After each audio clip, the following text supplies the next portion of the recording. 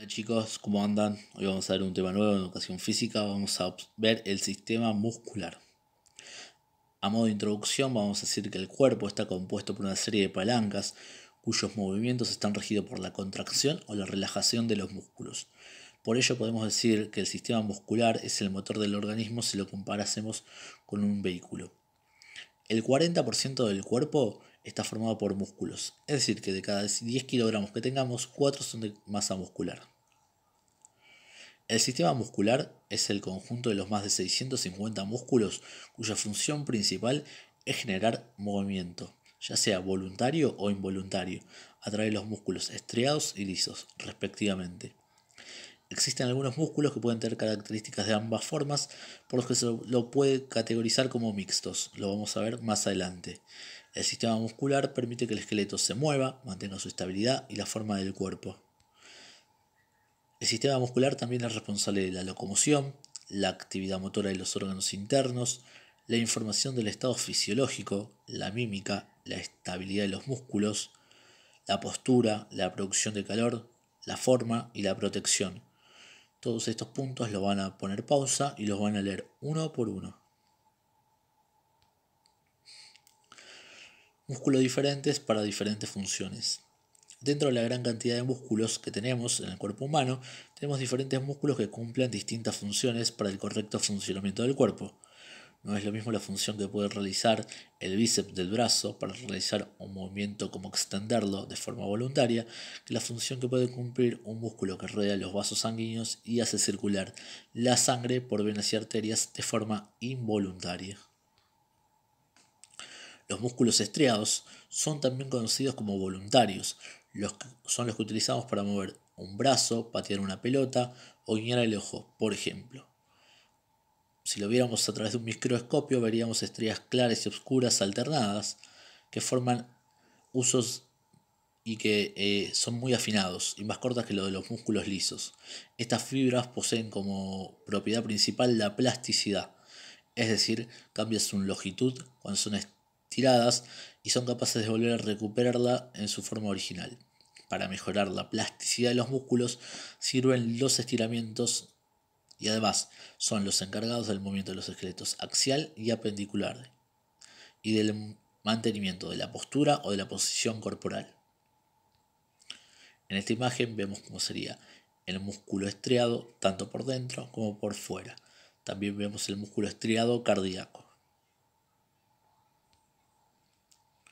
El músculo liso, también conocido como involuntario, carecen de estrías transversales, aunque muestran ligeramente estrías longitudinales. El estímulo para que estas, estos músculos se muevan viene desde el sistema nervioso vegetativo autónomo. El músculo liso se localiza en los aparatos reproductor, excretor, en los vasos sanguíneos, en la piel y órganos internos. Existen músculos lisos unitarios que se contraen rápidamente y músculos lisos multiunitarios en los cuales las contracciones dependen de la estimulación nerviosa. Los músculos lisos unitarios son como los del útero, aparato gastrointestinal, los músculos lisos multiunitarios son los que se encuentran en el iris, la tráquea, etc. En la figura A vemos cómo sería el músculo liso multiunitario y en la figura B vemos el músculo liso unitario. Por último, encontramos el músculo cardíaco.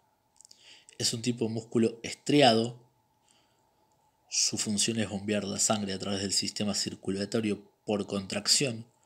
El músculo cardíaco generalmente funciona involuntaria y rítmicamente sin tener estimulación nerviosa.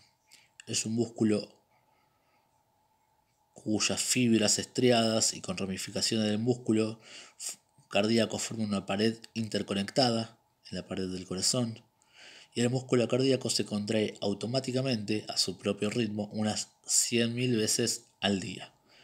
No se puede controlar conscientemente, sin embargo su ritmo de contracción está regulado por el sistema nervioso autónomo dependiendo del cuerpo esté activo o en reposo.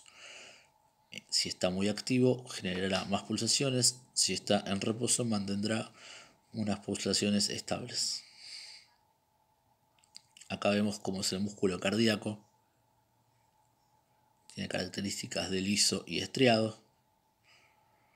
Y por último, para la práctica, la, clase práctica que vamos a realizar en nuestras casas, vamos a trabajar tres bloques de 8 minutos de trabajo. Tres bloques diferentes. En cada bloque hay una serie de cuatro ejercicios.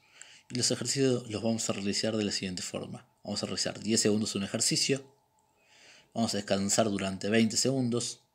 Y vamos a trabajar con el siguiente ejercicio otros 10 segundos. Así hasta completar los 8 minutos de trabajo. Y entre bloque de 8 minutos, vamos a realizar una pausa de 3 minutos. Ahora les voy a mostrar los ejercicios con los que vamos a trabajar.